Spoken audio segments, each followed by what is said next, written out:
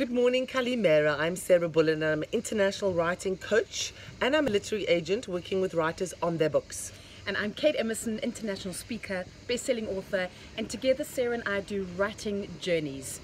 So that means we take you on a process to get your book written. And because I'm a structure fanatic, I really want to give you the tool, the craft, the structure, the outline to get your book into a place where it is readable, where it's structured, and where it's easy for you to write.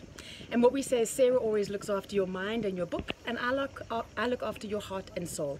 Because retreats, and especially coming to beautiful, idyllic locations, are all about immersion and about giving yourself the gift of time to follow your dream. So we're in the beautiful Greek town of Skala Eressos, right on the edge of the beach. And we also run a residency here, we run a retreat here, we run them in South Africa and we run them internationally.